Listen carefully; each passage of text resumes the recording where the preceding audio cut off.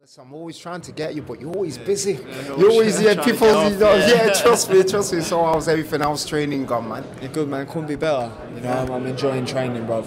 You know, that's it, man. Yeah, cool. So obviously, is this the, so? You, have you fought in Manchester before? Yeah, Yeah. yeah. twice, and you know Right. the love I get up here is unbelievable. You know, I love the Manchester supporters. I had the Yeah. choice of fighting at York Hall or Right. Manchester.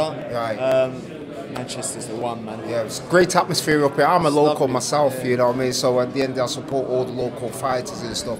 Listen, your dad was one of the reasons why I'm into boxing today. Yeah. You know what I mean? Obviously, for Chris Eubank, he was a warrior, you know. I mean, when you were younger, did you get to be around those sort of fights? I mean, what? No. Okay, so did you see your dad fight at all? No, no, you didn't. I was kept away from You kept away as from far that. as way as possible. Right, why is that? I don't know. I'd, I'd think I wouldn't raise my kid. Hmm. I wouldn't want my kid to see me fight. I would want my kid around, you know, certain things. You know, the you know certain boxing attracts, so Hmm. to speak. You know, I'd be, just kids stay at home. Stay at home. Stay at home. Right, yeah. I'll come. I'll come home. I'll come home. Do you know what I mean? yeah, Rather yeah. than than be amongst all this fame, this rubbish, and Hmm. you know, because there's nothing good that really comes from being famous. More money, more problems, so More money, more problems. Yeah, exactly. Yeah, People yeah, don't yeah, believe it. Yeah. You get a lot of hatred as well, don't you? Yeah, you get you get everything. Yeah. You get everything. You get hate. You get you get there is positive. There is positives. You get money, Mm-hmm. but then what's what's money? Do you know what I mean? Mm. You know, my, my parents my parents raised me without being. I had to work for money. My, When I Mm. lived in Spain, my dad still hard raised me hard. Yeah, my dad's got got money, but he raised me to earn my money. Yeah, right. Do you know what I mean? I'd, I'd work hard. When I mean work hard, I mean he would not give me a penny. Right. Like, like proper, not give me a penny. That's why he's still rich. You know what Yeah. I mean? you know, he won't, he won't give me, he won't give me, he Right. won't give me nothing. I Right. swear. I swear. I had to go and do painting and decorating for a few months. Done scaffolding for a few months. You know, and Do you know what it is, Conor? A lot of these fans don't know that. They think obviously because you're the son of a legend, they think you were born with a silver spoon in your mouth. But he, obviously raised you me have to hard. graft. He, ra- he, he, he, he was raised hard himself. Eight brothers, you know, had nothing. Um, and you know, with me, he, he raised me the best way. That's Best why. I'm grateful for everything I do get. When I got sent, when I got sent to England and I, and I started training here, I would get, he would give me fifty pound a week, while I was staying at Hatton's in Hyde. I Wow. lived there for six months. Wow. And um, he'd give me fifty pound a week, and that'd buy my food.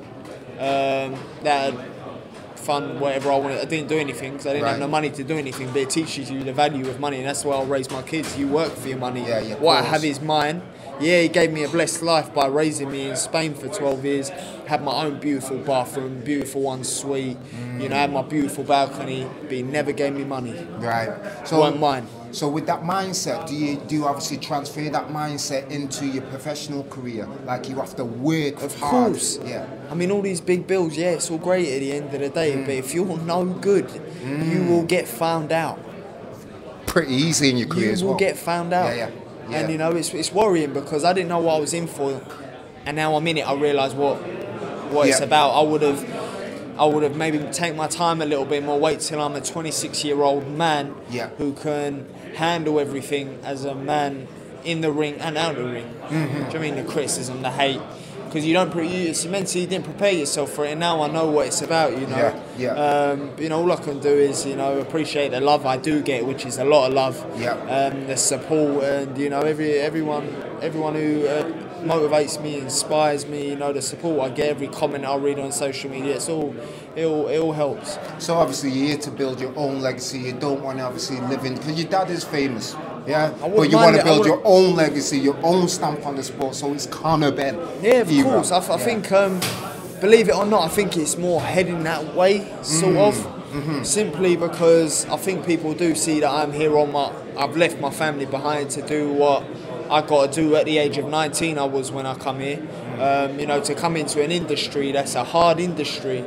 You know, and to deal with the pressure of the Benn name. Do you know what I mean? So yeah. I think people are starting to realise that. But at the end of the day, the apple don't fall far from the tree. I'm not. Yeah. I'm not far off being exactly like my dad. Right. Do you know what I mean? So there will always be. I'm either if someone goes to my Yeah. dad when he was over, oh, you're Conor Benn's dad. Yeah, I was like, I was like, jeez, man. Yeah, I was like, wicked. I was, I Yeah, was yeah, like, that's that, it. I was like, when that said, I was like, man. Yeah, it's like, that's made that. yeah, Exactly, so- and you know, and you know, it is, and it's something what Sam Nigel Benn.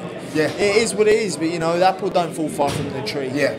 I reckon if you was to interview my dad now, he'd speak exactly the same way I speak. It's just it. I've seen a lot of interviews with you and your dad. Obviously, you've got Yeah. great chemistry there. Yeah. You can't fake that. Yeah. You know, and uh, what do you think of obviously Celia being in his son's uh, career? Do you think it's good for him?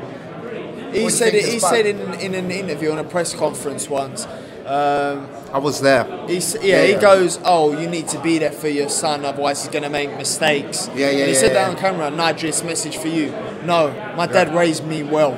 Yeah, yeah. He raised me well to deal with the walks of life that come come to you. Mm. Like when I got when I made that silly comment Mm-hmm. um, on on social media, you live and you learn. Yeah, yeah, of course you did, of course you. What my dad's going to protect me as a 20, now 21 year old 20 year old young man. No, I need to make mistakes so I learn, so I grow, so I prosper, so I can tell my kids don't make that mistakes. I don't need my dad there holding my hand. Hmm. Any hmm. mistakes I make, I take it on the chin, I deal with it. My dad raised me, you make your bed, you lie in it. Yeah, yeah. You know, when I yeah. did something wrong, you make your bed, you lie in it, you deal with it. And, Yeah. You know, that's what it is. And you need that sort of mentality in a hard sport like boxing. Name any 21 year old kid can live the life I live and still be humble, still be grounded, and you know know the value of money and you know not get. I mean, most people get have their head up their rear. Yeah, yeah. I'm, I'm still the same kid I was when I first grounded. turned over, and that's just the way I am. Right. So last one. I mean, obviously your opponent. Um, do you know much about him at all? What sort of fight do you Nathan expect? Clark. Yeah. He looks half decent. Definitely the best to date I fought. So I'm I'm ready. Come Right. Okay. And a year from now, where do you see yourself, bro? Don't know. It'd be nice to see myself in Miami sitting on a beach with a pina colada, but you know. Listen, you got a roof for me. I'll listen. Exactly. You know, good mate. Cheers, Thanks bro. a lot. Kind of Thank good you. luck, mate. Take care.